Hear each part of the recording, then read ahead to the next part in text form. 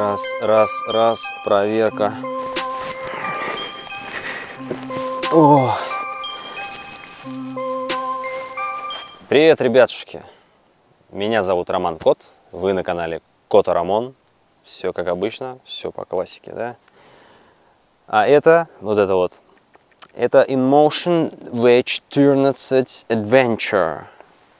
Супер-пупер-дюпер, или как там говорится, моноколесо. Топ из топов, вышка, пушка, гонка и все остальные прочие эпитеты, которые в его сторону изливались многими, а, многими опровергались. Ну, я себя не причисляю к людям, любителям мериться пиписьками, поэтому я считаю, что это просто моноколесо. Моноколесо, которое... Моноколесо. Классное, мощное вроде, вроде едет хорошо, есть у него свои приколюхи, есть у него свои особенности, свои отличия, свои плюсики, свои минусики тоже есть. Просто колесо. Все колеса в чем-то хороши. Вообще прекрасно, что они есть. Я не перестаю так считать. Поэтому выделять какое-то конкретное колесо, это все индивидуально. Но про него у меня есть что рассказать на самом деле, потому что я проехал немного, 1200 я на нем уже проехал с момента покупки. И за эту 1200 километров многое поменялось в моем отношении, представлении, многое изменилось. Первые 600 километров где-то, это такой период, в котором ты еще ездишь и такой, блин, я не знаю, может, ну нахрен, может продать и купить что-то еще, какие-то сомнения, какая-то вот такая история в голове крутится. А после 600 километров и после того, как ты настраиваешь правильно подушки, а это отдельная история, упоры в смысле, это отдельная история. Вот после того, как ты правильно их настраиваешь, делаешь, находишь им места, в общем, такие, в которых они должны стоять для тебя, все начинает играть совсем другими красками. И как раз где-то на пробеге в 600 километров у меня это и произошло. То есть я к колесу уже более-менее прикатался, я уже понял его более-менее, начал его ощущать нормально, начал на нем нормально поворачивать, разгоняться, тормозить. И подухи. Я прям подогнал их под свои ноги так, чтобы было все четенько. Я передние подушки, которые в моем случае задние, в курсе, да, я там менял местами перед зад, чтобы длинные передние вот эти вот упоры, они чтобы могли упираться вот сюда, в пяточку. В общем, вот этот момент с фиксацией ноги для меня очень важен. Я не стал покупать какие-то другие упоры, не стал вообще заморачиваться. У меня все по, по бомжу, так скажем, да, если это можно применить к данному классу колес. Но так уж вышло. В общем, моя задача была сделать так, чтобы с родными подушками все было классно. И я это сделал. С ними все классно. Но есть одно условие. Я это делал вот под такие кроссы, под высокие. Кто катается в низких кроссах, ну, наверное, можно, конечно, пониже все это опустить, но уже на торможение это повлияет. Потому что я вот сейчас буду показывать, я же буду показывать. Я разверну его специально, вам там видно, я надеюсь. Вот этот упор, вот этот упор, он передний, позиционируется как передний, но у меня он стоит сзади.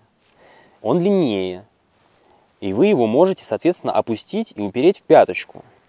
Сейчас я вам все покажу. Хоп. Если я ножку сюда свою вставляю, то у меня все четко. Вот он в пяточку здесь упирается. Здесь все тоже четенько. Здесь все упирается в ножку. И вот этот, я его вперед наклонил посильнее, чтобы при разгоне я мог упасть немножечко вперед. И при торможении у меня получается все четко. И есть один лайфхак с панельками, чтобы их не ставить широкие, если вы не хотите заморачиваться. Это элементарно вообще. Вы берете вот эту панель с велкро и просто вот на 2,5 на 3 сантиметра смещаете ее всю назад. Это элементарно. Просто смещаете панель назад. И у вас получается, э, из-за этого колесо начинает нормально тормозить, ну, в совокупности с ассистентами. Оно начинает нормально тормозить, оно нормально разгоняется, на нем становится просто удобно ездить. Короче, это положение, конкретно в моем теле, must have, я считаю, оно идеальное. Если кому-то помог, я рад. Просто это на многое влияет, правда, на многое влияет в вашем э, общении вообще с колесом, в ваших покатушках. Это реально многое решает, вот эта штука с э, установкой правильной упоров.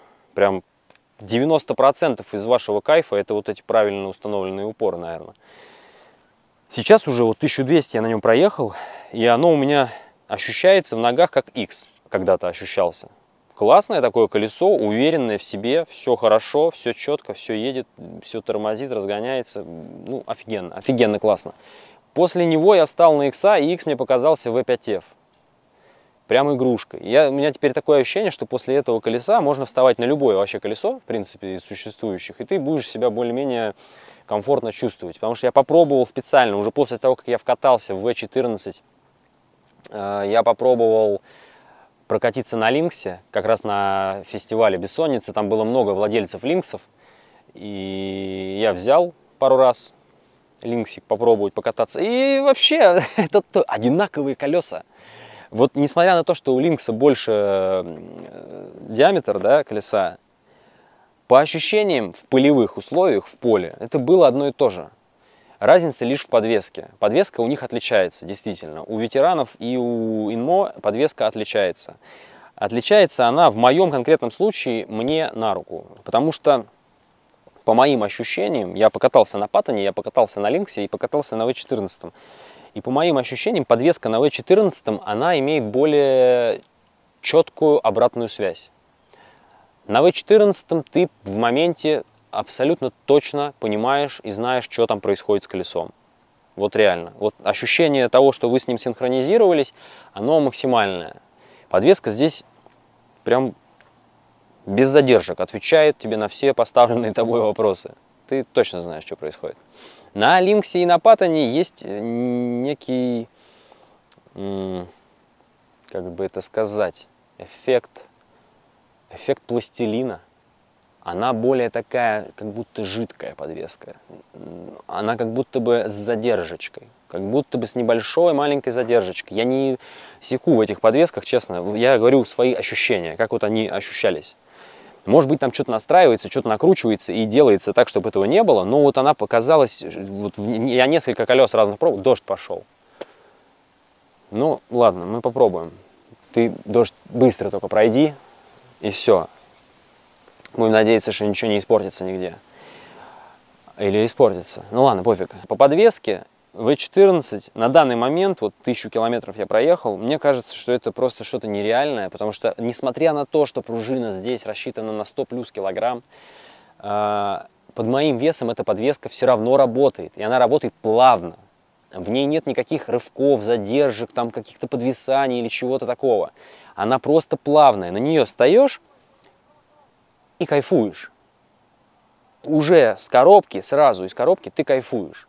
Я не знаю, как будет с мягкой пружиной, я попробую, конечно же, это все дело. Я попробую поставить черную от Enmo, вместе с амортом возьму, поставлю, посмотрю, что будет. И, возможно, я ее и оставлю. Я не хочу сильно диванный делать колесо, потому что я сейчас катаюсь, я серьезно говорю, я не шучу, я сейчас катаюсь на этом колесе с весом 60, уже 5 килограмм, килограммчик набрал, 65 килограмм голышом с экипом, ну, я не знаю, сколько там, 2 кг прибавится максимум. С этим весом до 70 кг на этом колесе я чувствую себя абсолютно комфортно, кайфово. Я катаюсь и получаю удовольствие. Я не борюсь с этим колесом. Я не страдаю от этого колеса. Мне оно не долбит по ногам и по пояснице. Все нормально. Поставлю аморт мягче, скажу свое мнение обязательно. Пока что все и так круто. По поводу тех ужасов, которые я вычитал в чатах, чате точнее, V14. Ну, там люди постоянно что-то выкладывают, у них постоянно что-то где-то там какие-то то ли проблемки, то ли доработки. Доработки это хорошо, проблемки это плохо. И у меня из проблемок было уже кое-что, я про это тоже вам расскажу. Первое, что у меня появилось, это на пробеге где-то около 500 километров, у меня появился сверчок. И такой он ненавязчивый такой, где-то где, -то, издалека, там такой что-то делал. Когда ты едешь, он что-то там вот так вот делал. А, я сначала подумал, ну неужели подшипник? Ну я проехал 500 километров, ну какой, вот из чего должен быть сделан подшипник, чтобы он за 500 километров навернулся? Вот реально, это вообще нереально. Ну естественно, мне этот сверчок покоя не давал. И я полез туда, и по моей традиции, самый любимый, естественно, я это не снял, что я там разбирал. Но хочу сказать одно. Разбирается действительно оно элементарно. снимаешь одну пластиковую крышечку, скидываешь одну переднюю левую баточку, левую же, правильно? Да, левую, переднюю левую баточку скидываешь, и все, и дальше просто джик джик джик джик джик джик джик джик джик джик джик и, и все, колесо вывалилось. Прям вот буквально так и есть. Ты откручиваешь несколько винтиков и все. Тебе ничего не нужно заморачиваться. Прям элементарно все разбирается. Батка, кстати, взвесил. Одна батка весит 3,7 килограмма. Все, ты, я скинул колесо, ты, я скинул я колесо, э, снял крышки мотора, посмотрел внутри, что происходит. Мне понравилось, что там, как они реализовали все это дело. Там стоит жирнющий сальник. Э, я не знаю, фотки я вроде делал, я, может быть, приложу их э, здесь. Там стоит жирнющий сальник, он закрывает подшипник. Э, там между ними расстояние, туда можно набить смазки жирнющей какой-нибудь. Естественно, в родне там было суховато, и поэтому свистел именно сальник. Подшипник был нормальный у подшипника. Я не, обнаружил там никакого сильного люфта, как вот у многих в чатике у меня все было нормально, я не стал ничего там переделывать, доделывать, вообще ничего не стал делать, я просто э, набил смазкой сальники эти, э, гидроизоляционной, антикоррозионной смазкой для стиральных машин, вот ей набил. Э, крышки тоже ей же намазал, не на герметик, ни на что, прям так намазал, посадил и прикрутил. В одном месте сорвал резьбу на самом моторе, когда крышку прикручивал. Винты родные не очень, винты родные лучше сразу замените. Я поехал в крэп-маркет, купил там винтик на пару миллиметров подлиннее, но уже такой серьезный винтик, хороший, качественный. И вкрутил его в это место, где резьба накрылась, и все там держится, крепко закрутилось, хорошо, классно. Поэтому надо менять все эти винтики, естественно, вся эта китайская какашка. Собрал все обратно, собирать было не очень. Попадать вот в это вот все в, в одни руки лучше не делать, конечно, неудобно. Либо какую-то надо делать специальную приблудину, на которой все это будет удобно стоять. Я это все делал на весу, э, и было не очень удобно. Но я все это собрал, естественно, на место все это закрутил. Все работает, не свистит, катается, возит меня. Классно, классно, офигенно, потрясно. Потом, спустя километров, наверное, 100-150, я заметил, что педали как будто бы болтаются, что ли. Тут есть винты сверху, два винта, которые крепят ось. Они вот раскрутились просто. Я их закрутил обратно, и все, все, все. Сейчас все нормально. Все. Это вот еще один моментик такой. Из самых страшных моментов, а он один всего был, это вот буквально на днях, на пробеге уже в тысячу километров, у меня, э, я приехал домой, я поставил его на зарядку, а оно не стало заряжаться экран погас, я, получается, выключил зарядку, включил опять ее, и ничего не происходит. Потом я включил колесо просто, а на колесе на экране появился э, треугольник красный, ошибка. Я залез в приложение. В приложении я увидел тоже эту ошибку, и там было написано невозможно отключить, или не получилось корректно отключить питание, что-то типа того, замените аккумуляторную батарею, ну, короче, типа все, типа батка все. Перезагрузка не помогла, ну и я что-то постоял, посмотрел на колесо, думаю, дай крышки скину вот эти вот пластиковые. Скинул крышки, разъемы просто открутил, разъединил, все разъемы, батки все отключил. А, потом подключил на место, включил колесо, ошибки нет все нормально. Видать, это был программный какой-то сбой, глюк, и ничего в этом страшного, я думаю, нет. Обновление я не обновлял колесо с самого начала, когда только я его из коробки достал. Там было обновление, я не стал его обновлять. Потом это обновление куда-то исчезло. Его, видать, убрали. Потому что что-то с ним не то. Потому что я так почитываю периодически чатик, и люди пишут, что после обновления там какие-то проблемки у них непонятные я не вникал, если честно. Ну, просто это не мое. Я не, не должен разбираться в вопросе посредством других людей. Я должен разбираться в вопросе самостоятельно. Так вот устроен мой организм. Поэтому я самостоятельно и стараюсь разобраться в этом всем. У меня все нормально. Ошибка устранена, сверчок устранен, педальки больше не болтаются, все работает, все четко. Запаса хода хватает где-то ну, 100 километров. Можно проехать на этом колесе. Я не проезжал, но слежу за тем, как уходят процентики. И сколько я проезжаю. Ну, реально 1%, 1 километр получается. Про покрышку хотелось бы сказать. Изначально я немножко был напуган этой покрышкой, потому что после полуслика на иксе смотришь на вот эту вот зверюгу, и кажется, что что-то, ну, что, ну, что, что, ну, что это вообще, что это? Какая-то страшная, страшная, жирнющая, огроменная покрышка с невероятными какими-то там этими вот шашечками. А, классная она, мне она нравится. Несмотря на то, что она внедорожная такая, вот, прям вот, прям вот, прям зубастая, да, но она нормально себя ведет на ПЧ. Она нормально едет, она такая вся закругленная, то есть это не как на паттоне там стоят покрыхи такие злые, а, а это прям вот, ну, а, она как полуслик, только такая, которая цепляется. Я не знаю, как, еще, как еще объяснить, да? Классная покрышка, которая везде может тебя вывести. Она универсальная, я ее менять не хочу. Пока не хочу вообще ни на что, она прям мне нравится. Реально, классная покрышка. Фара, а, отличная фара, но в ней мне не нравится один моментик. Ну и такой моментик, он много я хочу. Было бы классно, если бы они сюда сразу внедрили фару с э, автоматическую, в общем, с корректировкой, с корректором. Такую фару уже сделали, насколько я знаю, уже придумали. Есть уже фара, которая с автокорректором, не знаю посредством чего там она, гироскопа или чего там она работает, но в общем она есть, она просто стоит дороговато, насколько я знаю, в районе 15-16 16 тысяч рублей. Но она есть, и если бы она здесь сродни стояла, ох, было бы вообще по кайфу, потому что когда едешь в гору, приходится рукой лезть и подстраивать фару, подкручивать. Хорошо, что она здесь довольно легко все это делается, то есть, в принципе, без заморочек, ты рукой чик-чик ее поправил и едешь. Но тебе постоянно это нужно делать. А если ты еще ездишь с ассистентом, когда колесо у тебя само себя докручивает там то вперед, то назад, то у тебя получается светотеневая граница все время куда-то вот плавает, очень сильно, очень сильно плавает. То есть только без ассистента, с жесткими педалями ты можешь кататься на этом колесе и без сильных колебаний вот этой фары. А так, ну я с, с ассистентом я с ассистентом катаю в любом случае, потому что без него, может пока что, а может вообще в целом, у меня не получается тормозить на этом колесе. Вот с ассистентом нормально, он прям докручивает, и я присаживаюсь, и вообще все классно, мы с ним научились как-то в паре работать. Без него, ну, не очень. Плюс э, еще ассистента в том, у меня он включен на 70% э, разгон и на 100% торможение. Я часто езжу сидя. И когда ты едешь сидя, без ассистента, тормозить, ну такое. Машина, машина, все, я не могу. У меня крыша едет. Какая нахрен машина? Моноколесо. Оно не тормозит особо без ассистента. Оно и так не тормозит, стоя без ассистента, а сидя вообще не тормозит. В общем, сидя с ассистентом, со стопроцентным на торможении, можно прям сидя тормозить и вообще не париться. Можно не вставая, прям оттормаживаться довольно экстренно даже. Классная вещь. По поводу педалек. По поводу педалек хочется вот сказать. Вот, вот, ну, вот эти дыры, классно, что педали легкие, спору нет, вообще классно, что педали легкие.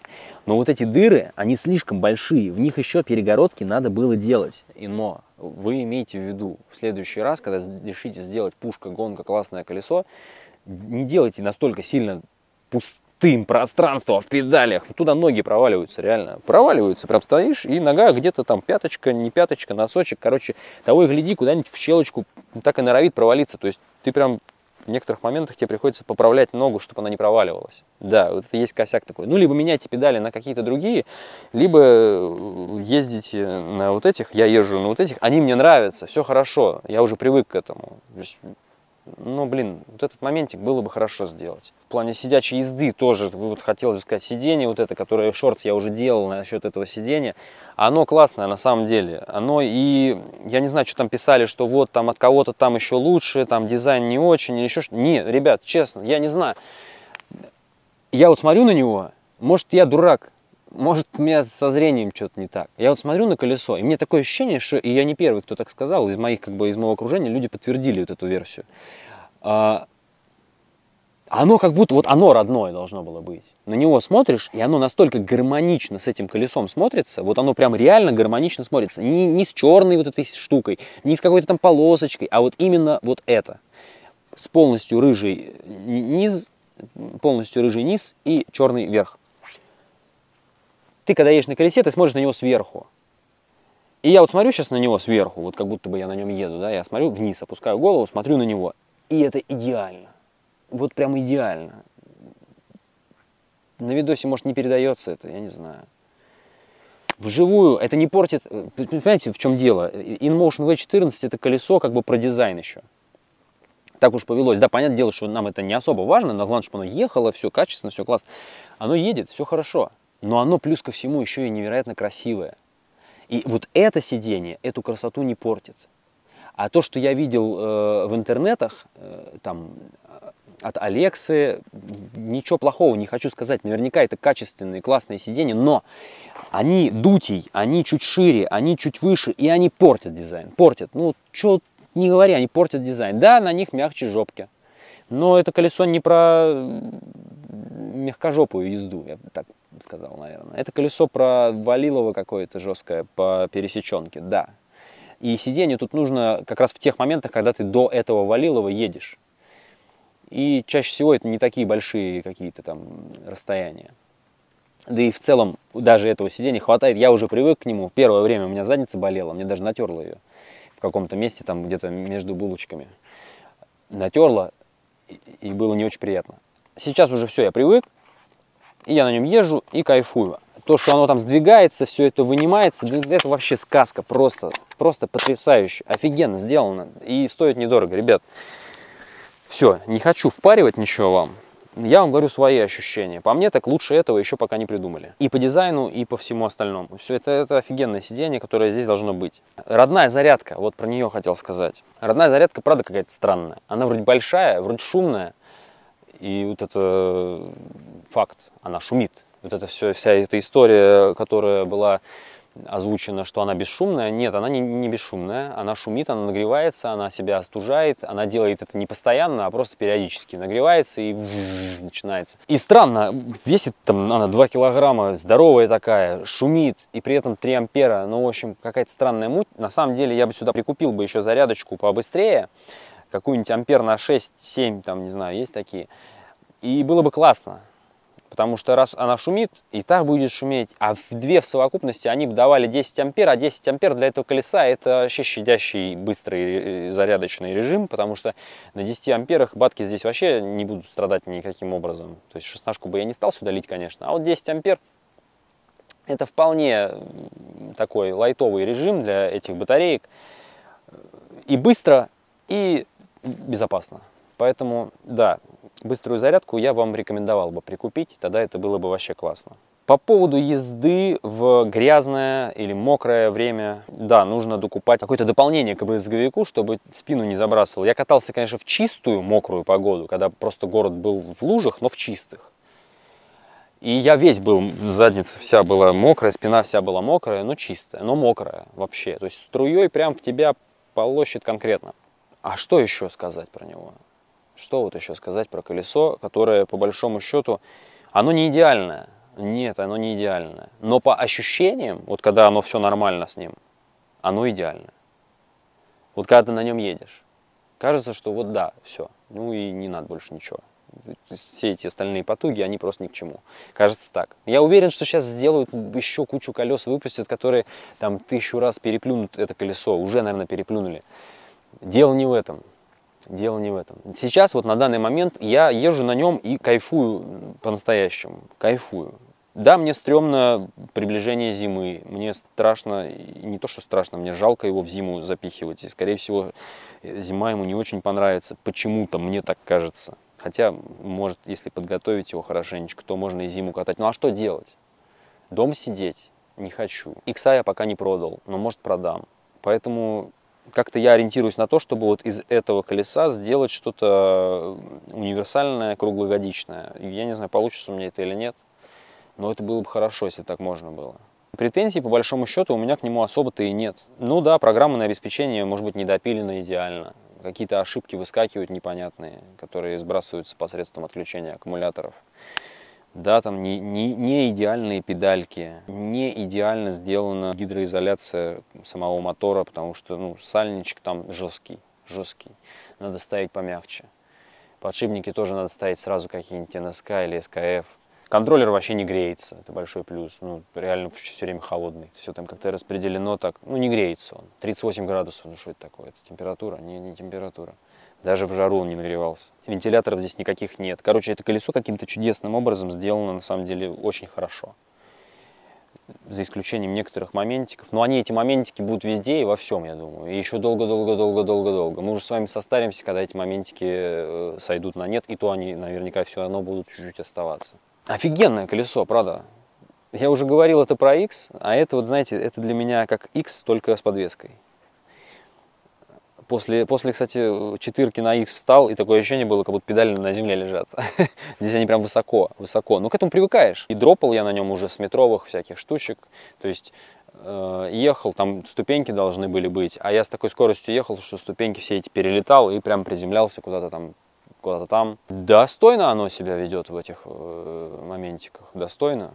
Отрабатывает подвесочка, ничего нигде не грохочет, не гремит, ноги целы, колени целы, спина цела. Был у меня глюк, когда оно падало на бок, и мотор раскручивался, даже после писка, что он отключился, он потом все равно раскручивался. Это какой-то программный моментик, который, я надеюсь, представители InMotion допилят и выложат все-таки нормальное обновление, а не то, что они выложили там где-то там, где-то там которая испугала некоторых людей. Собственно, собственно, все. Классное колесо, которое работает, возит и доставляет много удовольствия. Да, да. Не, я не разочарован, правда. Можно покачаться тут даже. Офигеть. Прикольно. Я не разочарован инмо. Я не разочарован четыркой. Сделано все хорошо, добротно, качественно с некоторыми моментиками. Если вас не пугают эти моментики, и у вас есть лишние на данный момент там 200 плюс тысяч рублей, можете смело покупать это колесо и наслаждаться, потому что оно дает это наслаждение вообще легко. Нужно просто прикататься к нему и не бояться его. Все, наверное, на этом. Будем заканчивать то я тут на качельках решил покачаться с моей дебильной вестибуляркой, меня сейчас тошнить начнет, ну, это нормально. Все, ребятушки, всех обнял. Всем приятных покатушек, хороших колесиков. И берегите себя. И что еще? Что? О, бабочка, бабочка. Все, пока.